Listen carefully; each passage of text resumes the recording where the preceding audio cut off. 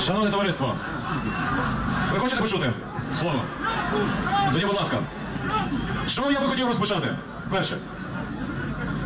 Я особисто, Олег Тягибок, а також Всеукраїнське об'єднання Свобода. Завжди було. Хочу подякувати кожному з вас, кожному, хто сьогодні знаходиться тут на площі. Кожному, хто незважаючи на дощ, на холод, Поки замилюванням. Ті домовленості, які досягнуті, не відповідають нашим з вами прагненням. Правий сектор не складе зброї. Правий сектор не зніме блокаду жодної з державних установ, поки не буде виконана друзі і подруги.